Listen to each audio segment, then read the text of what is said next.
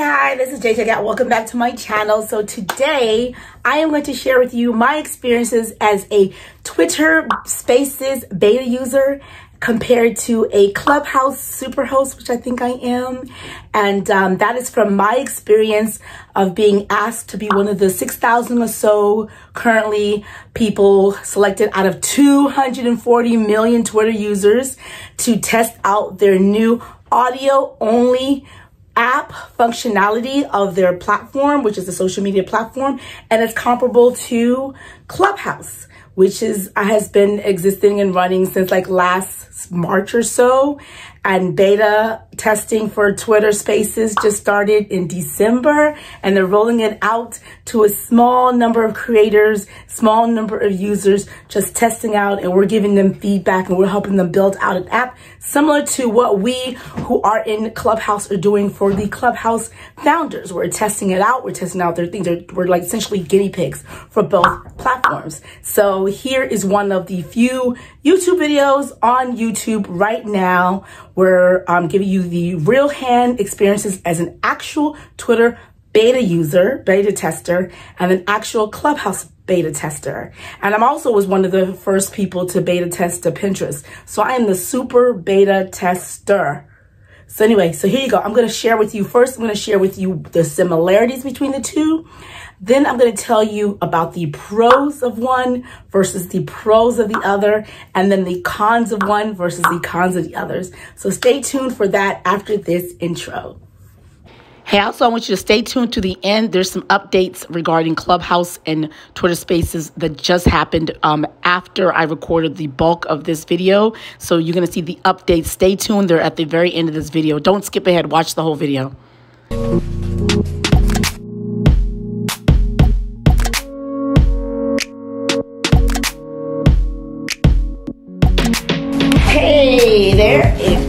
JJ Ghatt. Welcome back to my channel. Okay, now that's corny. To my channel. First, for the similarities, they both are audio only. A second similarity is they both have speakers and listeners. A third similarity is that usually the person who starts the club in the clubhouse is on the upper left corner. The person who starts the room in Clubhouse is in the upper left corner. And the person who starts or is the host of the Twitter Spaces is also in the upper left corner when you're looking at the app. A fourth similarity is they both have speakers. In Clubhouse, the speakers can include co-moderators and they're indicated as being co-moderators by having a green asterisk, which we're euphemistically call a green beam. In Twitter Spaces, there is no other indicator that a person is a co-moderator. So everyone's a speaker who's on stage. So in Clubhouse, you have speakers and there is um, no max of the number of speakers. This is a similarity still. In Twitter Spaces, there's a max of 10 speakers plus the host. In both platforms, it's the intent of the apps that whoever is the host or the co-moderators in Clubhouse case and just the host in Twitter Spaces case controls the room. And what they have is what's called moderation tools. They're allowed to bring people up from the audience and Twitter Spaces. You give people ability to speak if they're on stage or stay down as a, as a listener. In Clubhouse, you can bring people up from the stage and mute their mics if they you don't want them to speak anymore or take them back down to the audience. Both have the ability to close the room. However, in Twitter Spaces, the only person that can close the room or start a room is the host. In Clubhouse, anyone who is a moderator have the ability to start a room or to close the room. Now I'm going to get into why that's an issue later on for the Twitter Spaces case. Um, in both apps, you can schedule events. Um, Twitter Spaces hasn't rolled out that yet before, but we've watching for those of us who are beta testers are watching it and waiting for that to come out. In Clubhouse, you can schedule out events in advance so someone can know what's on the calendar and people can actually monitor an event and know and be alerted when an event starts. So that's the case for both of them. Um, well, not for Twitter Spaces yet because they're still working on that. What else do I have? Okay, and so also you'll notice on both of them, this, the interfaces look similar, where you have the speakers on top, and then you have the listeners at the bottom. In Clubhouse, there's a second row um, that includes the people who the speakers or the moderators or the hosts who started it are following. They're on the second row. There's a little hierarchy, and everyone else is others in the room. In Twitter Spaces, below the speakers, there's everyone else is just a listener. Um, there's a hierarchy, not known, but there's belief belief that it's the people who the who the moderator follows, you know, who follows the moderator and moderator, moderator follows as well. So mutual follows. And then underneath them are the people with the verified Twitter badges. So verified users come second and then everyone else. So there is a hierarchy in Twitter space as well. So they both have certain hierarchies of their stages. So those are the similarities of the two. Now the pros of Clubhouse over Twitter spaces. So for Clubhouse, you have clubs. Twitter Spaces is still new. They haven't built out clubs yet. So you have different interest groups or interest communities that you can actually apply for and become a member of the club. I personally am a co-founder of the Rising YouTuber Club, which is a club for YouTubers with zero to 10,000 followers. So if you are a YouTuber and you're on Clubhouse, I'd like to invite you to join our club. And second thing that's beneficial of Clubhouse is that the person who starts the room cannot start the room right away. Any one of the co-moderators can start the room. And if the moderator has to leave sometime, the, the person who starts the room, the host has to leave and take a meeting or go away, the room can continue um, even though that host who started it is no longer in, they can come right back. So that's a benefit. Another benefit of Clubhouse is that you can actually search members right now. You can, you know, type in a name and know and find out if someone someone is actually already on the app. Uh, another benefit is that you will know what your room is about um, from outside. So if you're in Clubhouse and you're scrolling through what's called the hallway, you can see the title of the room and know whether or not you want to go in there and explore more. So those are the benefits of Clubhouse. So now let's talk about, that's something that Clubhouse has that Twitter Spaces does not have yet. So let's talk about things that Twitter Spaces has that Clubhouse doesn't have next. Okay, so now let's talk about the benefits of Twitter Spaces over Clubhouse. So Twitter Spaces has a superior quality sound. One of the first things you're going to notice, especially if you're a sound person or you're a musician or you deal with sound, is the audio quality is tops. It's on a different protocol than the protocol that was your phone. I think Clubhouse shares the same audio protocol with your phone. And so sometimes when you're in Clubhouse, it seems kind of muffled, but on Twitter Spaces, there's a lots of clarity. I'm not quite sure what's the purpose of that, but there, I've heard that because the Twitter Spaces is built on the old Periscope platform, on the Periscope infrastructure, Periscope is no longer existing. I don't believe so. I think sometime as recently as this week, they told everyone that you're not going to be able to access Periscope any longer. Um, and perhaps because Twitter also is a larger, well entrenched, you know, well endowed, heavily capitalized, you know, lots of employees company um, with lots of infrastructure, lots of, you know, support and resources that they were able to build a platform that has superior audio. So that's the first thing that Twitter Spaces have over Clubhouse. The second thing that you notice the difference between Twitter Spaces is Twitter Spaces has a talk to text feature. So one of the things when you are a listener or whether you are a speaker, you can actually toggle on this button, which is the last one here that tells you you can uh, uh, have um, translation, transcriptions. So as I'm speaking on Twitter Spaces, the, the text is showing on the bottom of the screen. So that's great for the hearing impaired community or perhaps for someone who doesn't want to listen, who maybe is busy and they just want to read or they don't want people to know they're on. So you can actually read what's being said. So that's the second benefit of Twitter Spaces over, over, over uh, Clubhouse. A third benefit is that um, Clubhouse is limited to 5,000 people in a room at a time. However, Twitter Spaces, perhaps because it's Twitter, because it's a larger platform because the platform it's built on maybe can accommodate it. You can have up to a million listeners.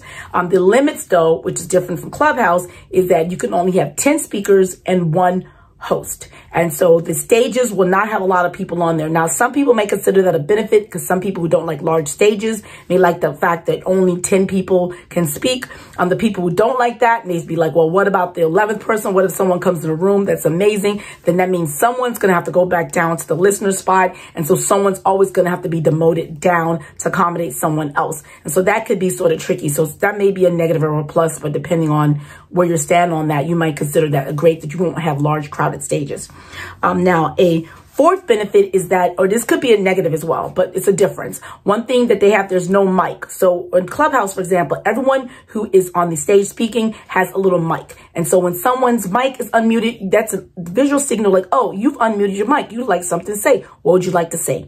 Also, when the mic is mute, you know people are quiet or you know someone's mic is unmuted. That's a visual stimulation or visual, visual cue to the host or the moderators that someone's mic is unmuted. And you can tell them, oh, mute your mic or something like that on Twitter spaces, there is no mic indicator. So some people say that's a positive because you can, anyone can join in the conversation. So therefore the conversation tone on Twitter spaces, some people have said has been more natural, like a natural flow. If you're conversing, sometimes people interrupt one another and some people stop, stop by, um, will pause and make room for someone else to speak because you don't know if someone's mic is muted or not. And so anyone could just jump in. So some people might not like that because they may want to be, have the ability to control, for example, and have visual cues when someone else is speaking speak and have a more controlled room. So that could be a positive or negative depending on how you look at the, the, the aspect of conversational versus non-conversational, more instructional sort of. So that is a fourth uh, difference. Uh, fifth difference is the uh, ways. Okay, so in Clubhouse, the only people that can indicate that they're happy that the speak what their speaker is saying and indicate applause is through flicking your mic off and on and flicking on. That's the sign for applause, and that's it. And you have to be on stage to be able to have that ability. So in Twitter Spaces, anyone, whether you're a speaker on stage or whether you are a listener, have six emojis. So it's the 100% emoji right now. It's the hand raising emoji. So if you're speaking and you don't want to speak out of turn, you can raise your hand and signal it with it. There is the fist bump, like, yeah, oh man, emoji. There's a peace, like peace out or cool. Or then there's also the laughing emoji. Um, I think that's the six. I'm not quite sure if I'm missing one. But anyway, so those are the different emojis that you can show. And you can actually uh, uh, toggle this based on your skin tone. So if you want a yellow, you could be white, pale, light brown, tan, dark, whatever you want. You can change the color of your hand on the emoji. So that is a um, fifth differentiator. A sixth differentiator. Okay, so you cannot, um, this is a differentiator. I'm not necessarily it's a positive, but you can't search people. So one of the ways you search on Twitter, who is a, is a Twitter right now, who's a beta tester of the Twitter spaces, as a we, the community of beta testers of 6,000 or so, have decided to put a little purple, which is the, the emoji or the app or the icon for Twitter Spaces is a purple square, I think, or a purple circle. I'm not quite sure. But those of us, and I think it came up, Mr. Dre said he's the one who came up with the concept of everyone who's a beta tester to put the purple circle in front of their name on Twitter. So everyone knows in the community knows that they are a host. And then also, if you want to search for a host, or the only way you can see a space now, you have to either one, be following summer, someone who is a beta tester or two, um, be uh, someone you do follow has to be in a room of a beta tester. Or three, you have to get a link. So those are only three ways right now you can see a Twitter space. So unlike Clubhouse, where you can see anyone in the room if you are in Clubhouse app. So all you have to do is join the app. And once you join the app, you can see everything and everyone. Twitter spaces, because it doesn't have that sort of similar thing, you can only see those three ways. And I've been using the analogy, it's like a, a town versus a city, apartment building in the city. Whereas with Clubhouse, it's like a little town and your home is open and anyone's walking down the streets can just come in your house if they want to, but you're cozy. I feel more secure inside of a house. Whereas Twitter Spaces, it's a busy street because Twitter has 240 million people. So it's a larger space versus Clubhouse, which is like a town of 6 million. Uh, this other one's a town of 250 million people, which is a city. So it's apartment building. And the only people that know that a, a party is going on in the apartment building who can see the purple haze. And that's how you see it's a purple haze above where the, where the uh, fleets will go. Whoever is a Twitter Spaces host, you'll see the you see the, the, the emitting purple. The only way you know a party is going on up there is that you have to either know, be following that person or have someone you know in the party. So if you're walking down the street, you can only see the music banging that there's a party on there because you're, oh, someone I know is in that room or someone I follow is in that room. And then the other way is to know the code, have the link. So if you don't see, if you're not someone you follow or not someone you know in that room and someone sends you the Twitter Spaces link through a DM or through some other format, maybe to tweet it out or send it in a, wherever, wherever you want to send it to email, then you can get in that way. So if you're not following, so it's either you buzz it in like a code at the apartment building. So that's how I sort of differentiate the two. Um, anyways, I think that's the end of the similarities and differences between uh, Twitter spaces, you can have a million listeners join your room and hopefully the crash, the app won't crash because it's all also still in beta. The technology is still being developed. There's a woman named Maya Gold. She's the one who's building it. She's a phenomenal person. I'm so happy she's a sister. So yeah, so she's building it out and it's still, you know, tested in the works. But those are the bits benefits of Twitter spaces that I can see right now as a beta tester, someone who's actually hosted a few spaces and been in a few spaces since I started this week. So let's talk about um, the cons, maybe. So I'm going to talk about the cons for both of them. So the cons for both of them is that there is a, and this is an issue with any social media platform, but especially Twitter, which has a history of having toxicity and uh, vitriol and um, controversial topics and figures and people saying things and bullying. There's a lot of stuff that goes on on Twitter. Um, but in House too, there's some elements of that. So both have elements of trolling. And so being able for the founders of the creative to monitor and keep a hold of that really, really difficult. So that's a challenge for any social media platform.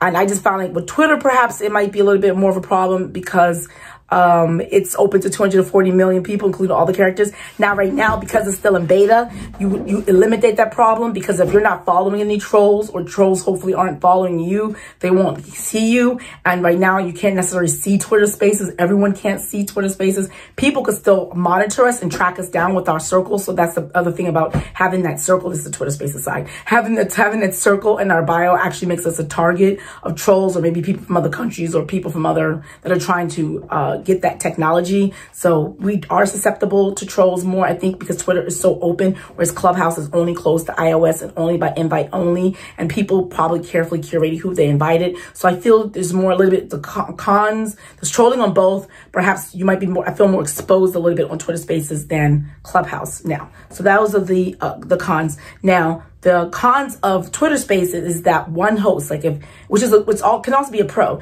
The fact that one host if one host, so I've been, I was, I started two rooms. I had a field trip from Clubhouse to Twitter Spaces this week, and something was going on. There was a glitch. My app glitched twice, and when it glitched twice, it kicked me out. When it kicked me out, the entire room closed. So I had to go send the links and invite all those people in the room, another DM their link, and they all we had to reconvene. So imagine if you're doing a concert, you're doing a listening party, and something happens, you're the host and it closed down. That means all one million people have been listening. They no longer concert is over for everyone. So I think there should be at least what you have one other person who's a beta tester, they should be, you should be allowed to have two people um, keep the room open or you can pass the mic the way in Clubhouse. If you leave, you're the host, you created the room, you can leave and pass it on. Now, the one host thing is kind of good because one of the problems with Clubhouse is that when you have various different moderators and if people just keep modding, you bring up a couple moderators and everyone just mods everyone, any moderator could shut down a room. So on, on, on Twitter Spaces, only one person could shut down a room. That's the host. So the Twitter Spaces, that kind of eliminates that because only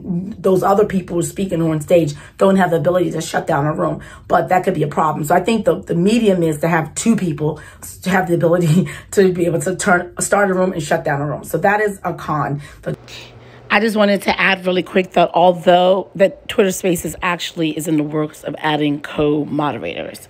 So um, I don't know if that's a reaction to critiques or what, but yeah, just let you know that.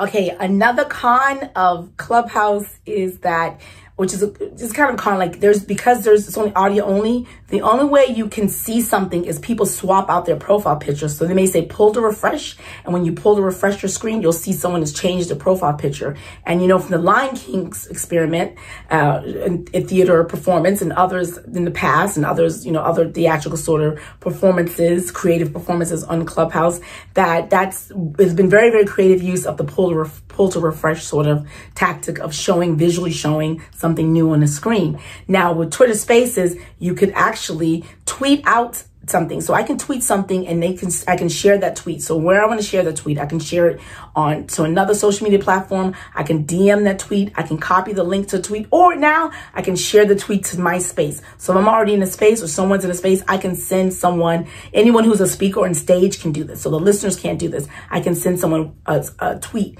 When you send a tweet to someone's space, it appears above. So that's great. If you're doing instructions, you can say, you can put up their links to other, um, other other websites. You can put up images, you can put up charts, you can tweet lots of different things. You have more leeway and it appears on the top. Now the culture is you don't do that unless you ask the host, can I put something in your space above, tweet something to your space? That's the culture. But so far, anyone who's a speaker can put something on top. So that allows more ability for instructions if you want to use that Twitter spaces for that. Okay, after I recorded the initial videos, I discovered a couple of things with both of the apps, new updates, okay? New updates. Uh, one, on March 5th, Clubhouse updated its app to say that you can now enhance the audio. Um, so if there's the app is throttling, if there's problems with it, if you're in a bad signal situation, you can put it to low audio. But if you wanted to, if you want to um, share music, if you're recording, if you're doing theatrical production, you can now actually increase the audio. That's new because that was a differentiator before between Twitter Spaces and Clubhouse. So Clubhouse has responded to that by allowing better audio. So we'll see how that works. A second thing Clubhouse did and was a differentiator, differentiator differentiator between that and Twitter Spaces was that you couldn't see audience reaction. So on Friday when we did our our, our um, we did a, a field trip from Clubhouse to Twitter Spaces with my sister, and when people were raising their hands, we could actually see the emoji if someone had risen their hand, we can see on the profile on their picture in the audience that their hand was er, er, had, had, had been raised. So that is an emotion. So if they can do hand raise emoji on the app, um, perhaps they can also have some sort of other indicator individually, the same way you can do it Twitter Spaces. So that's something new for Clubhouse. Now on the on the Twitter Spaces side, I already said that Twitter Spaces is coming soon, is the ability to schedule. And something new now, Twitter Spaces is actually going to have the ability to have co-hosts, um, which was something that they didn't have before, and which was challenging. The question to me is whether you know someone, a co-host, should be able to start and end a room, and the room shouldn't end because the co-host has to leave, wants to go, wants to dip out for a second. So it looks like Twitter Spaces is answering that and sort of responding. So they're getting more and more like one another. Actually, the differentiators, they're closing the gap gap on the differentiators. And that's probably as a response to one another, probably a response to your community. Um, also, a response to competition. That's the beauty. When you have a monopoly, you can do what you want. You can be slow to roll out services because there's no one else. It's just you. Once another person comes into the picture, you have to quickly adapt and actually um, compliment and give people what they want and respond because they people will not have choices. And, and I'm sure Clubhouse doesn't want to lose people to Twitter Spaces, and Twitter Spaces just want to you know siphon off some Clubhouse people with some differentiating functionalities. So there you have it. That's my last bit of piece of updates um, for this. All right. Okay, it's getting dark now. I lost all my sunlight because I got a call came through. So the final thing is of both both apps, you cannot record for privacy's sake. And who knows if they're saving audios. I know Clubhouse says they only save it if there's if the room is reported, they only save it for investigation purposes. Otherwise, there's no recording of the apps. I don't know about that in Twitter. I haven't even looked at the terms of service, but I do know I tried to record a piece of the, uh, I've tried to record it, um, from my phone, it, it, record didn't go through. So they have the ability of actually blocking you from using your iPhone record functionality to even record it. With Clubhouse, you can record it and they'll just give this alert that says, hey, you're not supposed to be recording. And that's about it. But there's not, they don't stop you from recording. With Twitter Spaces, you're not really not supposed to be recording and you can't record. So I think that's it. Those are the two similarities, um, and the two things I, for in terms of for whether I like one or the other, I would just say that I do like, um, I think for the first time I did a Twitter Spaces, I forgot I was in a space because it was like a, maybe because it was a small intimate. We were talking about all sorts of stuff, conversational. It felt more casual to me than Clubhouse seems more formula. I'm gonna get on stage. I feel the need to keep people there because I can see them coming and leaving, and there's a pressure to like entertain or or to you know to just educate and to keep people on and be instructional and keep the room flowing. It seems more pressure. With Twitter Spaces, for me personally, I don't feel any any feeling any obligation obligation. Maybe Twitter needs to put me in front of larger spaces, but I don't feel any large any obligation to like to control the room. Perhaps even though I'm the only host, because oh, other people can other people can make emojis and other people can interact, and maybe that's the thing. So the, I'm seeing interactions. I'm seeing it's it's a lot of inter, it's a lot of activity because I'm, I can see the speakers and I can see the listeners reacting with the laugh sign, the 100 sign, so I can see interactions going on. So I know already the people are having a good time. So it's less pressure on whether or not my message is resonating because I can see the resonation from the audience, not just from the speakers. So maybe that's why Twitter Spaces to me seems more less pressure and then maybe less more conversational. But I do love Clubhouse. It's my jam. I'm I'm a Clubhouse club club owner. I host rooms in there. I've drawn communities and I'm not going anywhere. So I'm still loyal to Clubhouse. And then I think I can, they can complement one another. If I just want to hop on a space or join a space, it's different people. It's a different vibe. Um, and then as I learn more about Twitter spaces, I'll see other ways that people are using it and maybe join on or maybe create spaces similar to the way other people are using it. I know, I know Clubhouse. I'm intimately familiar. I know the different ways you can, you can use it for entertainment, for education, for just vibing, for just chilling, for just networking. I know all the ways. I know the ins and outs. I've been on there since December 15th or something like that. Whereas Twitter spaces, I just don't know the universe of possibilities yet. Um, oh, the other, other thing, the difference is, is Android, Twitter, announced this week that they're allowing beta testers for Android users, where Clubhouse said by June, they're going to start opening up to Android users. So that's actually a big differentiator. I should have mentioned that um, between the two um, is that one is open to Android already, the other one is not yet. And so when I did announce that on my, when I tweeted that, a few Android people was like, oh, this is the end of, of Clubhouse. Clubhouse is going to be dead. I don't think so. I think Clubhouse will continue to thrive as a community. It's going to keep growing.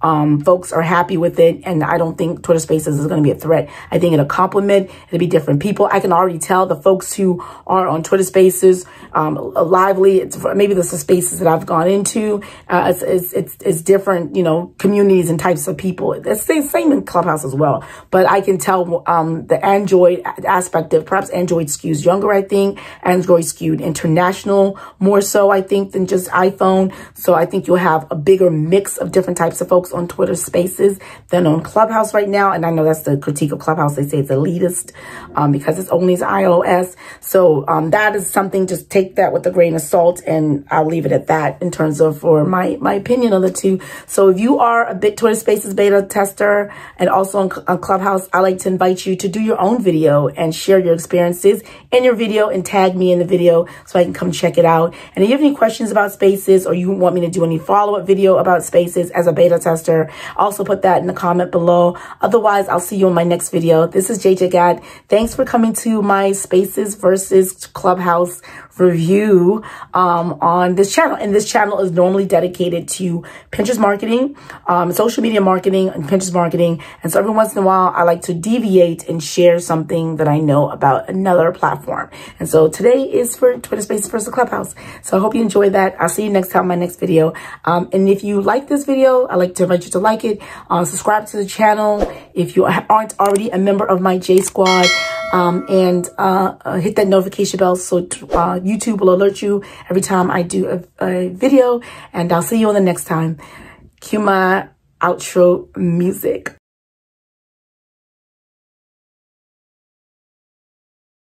How to join Twitter Spaces. First, find a Twitter Spaces beta host and join their space. When you're there, make sure you get on the stage and speak and say, Hey, Twitter, I'd like to be a Twitter Spaces beta host. That might help. We don't know. Then there's a Google form that you can fill out. Make sure when you fill out this form, you say how you are going to make it an inclusive community. Twitter is trying to roll it out to communities that have been bullied on Twitter before.